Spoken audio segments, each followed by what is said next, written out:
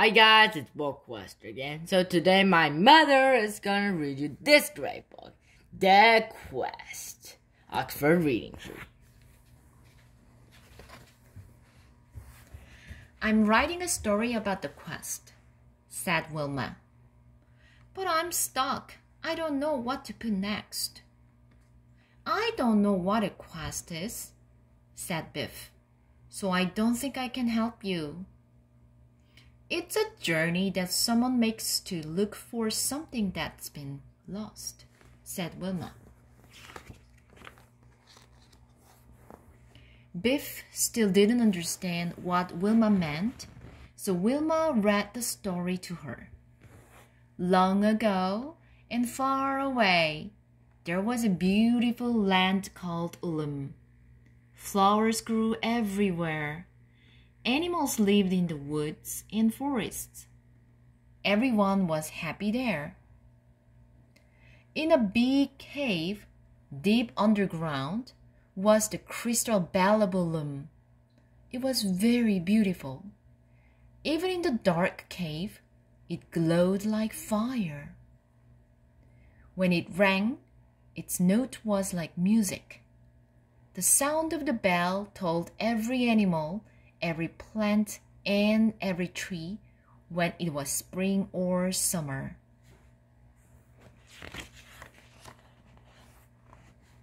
The evil Grimlock lived outside Ullum. He lived in the cold black mountains of Grim. He wanted the crystal bell of Ullum, and he spent years looking for it. At last, Grimlock found the bell. Now it will be mine forever, he said. Grimlock took the bell back to the land of Grim. He carried it through the forest. Then he crossed a rocky desert. At last, he reached his castle high in the mountains. In the sunlight, the bell looked so beautiful that Grimlock could not bear to look at it.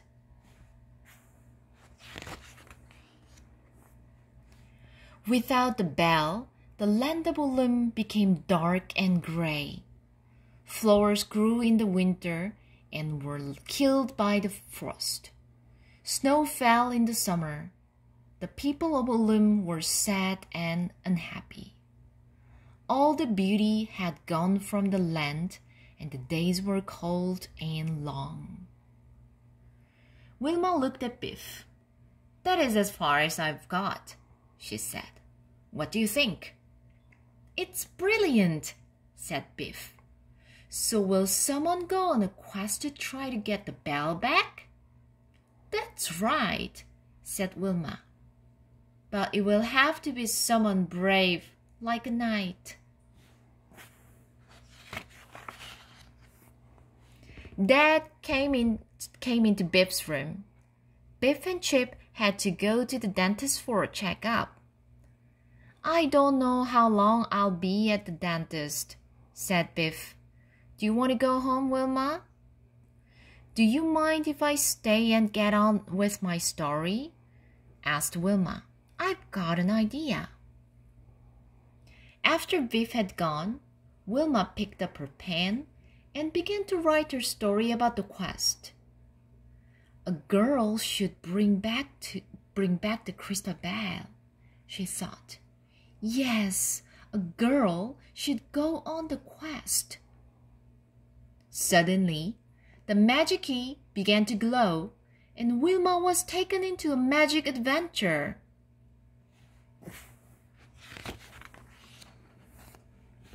The magic took Wilma to the land of Ullum. The land was cold and bare. Grimlock was waiting for Wilma he was hiding behind a tree. He wanted to stop Wilma from going on the quest, so he turned himself into an old woman. As Wilma went by, Grimlock said, Hello, my dear. What are you doing in the forest? I can't tell an old woman, Wilma thought. I'm going to rescue the crystal bell from the evil Grimlock, she said.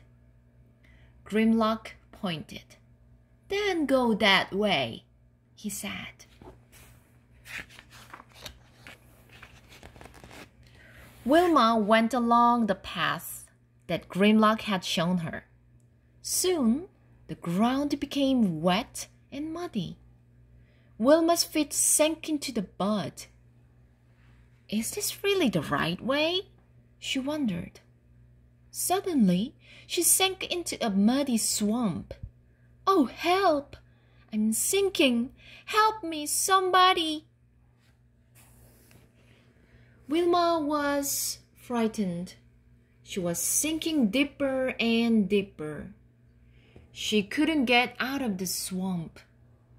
Suddenly, she saw a white unicorn standing on the edge of the swamp. Don't be frightened, it said. Hang on to the branch and I'll pull you out.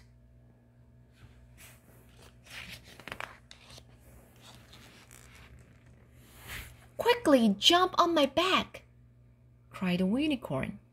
We must get away. As the unicorn galloped through the forest, Grimlock fired an arrow at Wilma.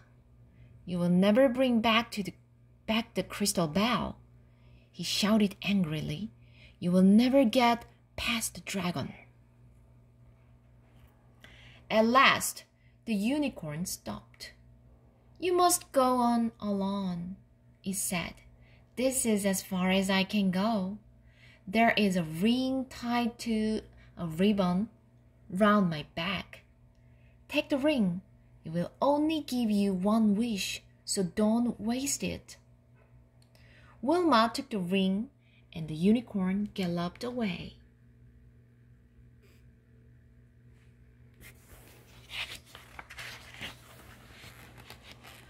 Wilma walked across the rocky desert.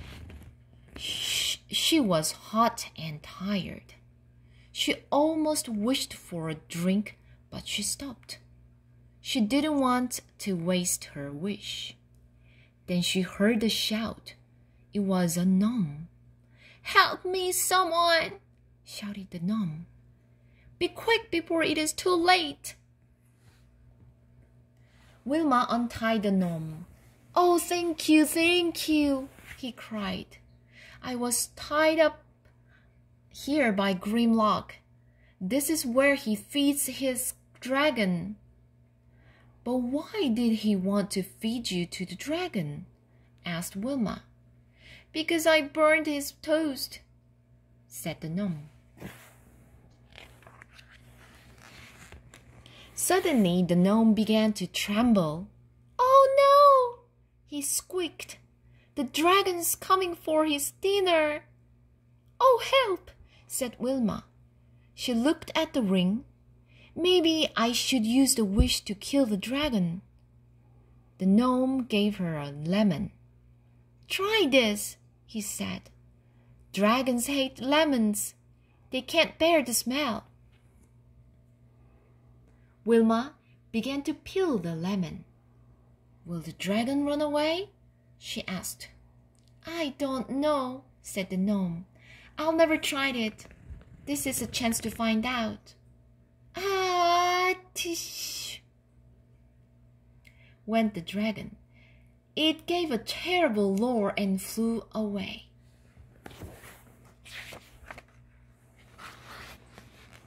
Hooray! shouted the gnome. You did it! I was very frightened, said Wilma, but the lemon worked. The gnome handed Wilma a mirror.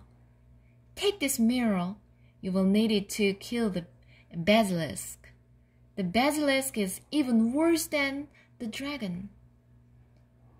What's a basilisk? asked Wilma. And how can I kill it with a dra- with a mirror? Its eyes can kill you, said the gnome. When you see it, don't look into its eyes or you will be turned to stone. Hold up the mirror and let it look into its own eyes. Does it work? asked Wilma. I don't know, said the gnome. I've never tried it. This is a chance to find out. Suddenly, with a great roar, the basilisks charged at them. Wilma held up the mirror, and the monster was killed by its own terrible eyes.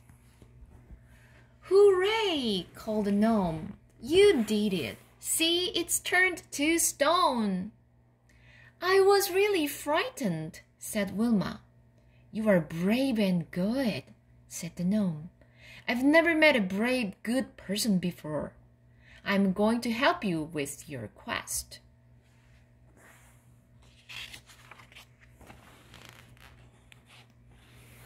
A gnome took Wilma up the mountain to Grimlock's castle.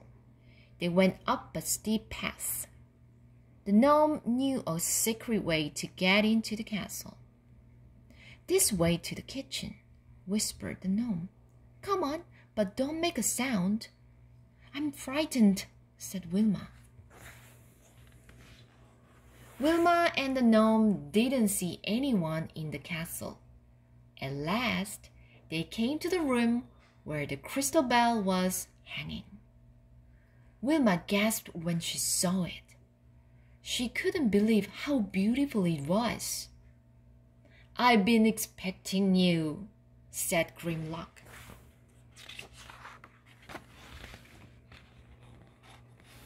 You can spend the night here, hissed Grimlock. Tomorrow I'll feed you both to the dragon. Oh dear, oh dear, said the gnome. What shall we do now? Wilma looked at the magic ring. It's time I made my wish, she said. Wilma's wish started to work. The bell began to ring. Its sound grew louder and louder. It rang so loudly through the castle that cups and saucers broke, and the glass in the windows cracked. Hour after hour the bell rang. Grimlock's ears hurt as the bell grew louder and louder.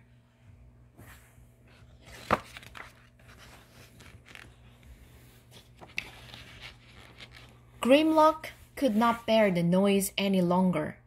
He tried to smash the bell with a hammer, but it wouldn't break. Stop it! Stop it! Cried Grimlock. I can't stand it. The sound of the bell will kill me. I think my ears will burst. At last, Grimlock asked Wilma if she could make the bell stop ringing. I can, said Wilma. But you must let me take it back to Ullum. If you don't, it will begin to ring again, and it will never stop. Take it, said Grimlock. Take it back to Ullum.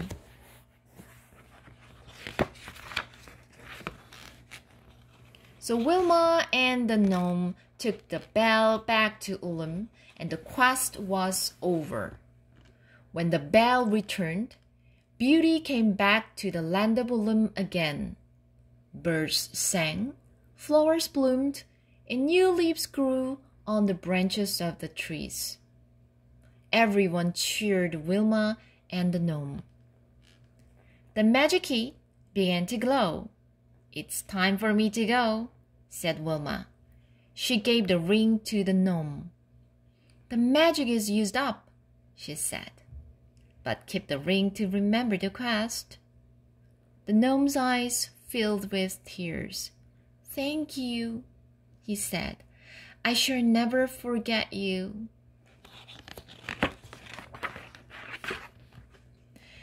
Biff came back from the dentist. Sorry I was a long I was a long time, she said. Did you finish your story? Did they get the bell back? Wilma gave Biff her book. Why don't you find out? said Wilma. You can read it if you like. The Quest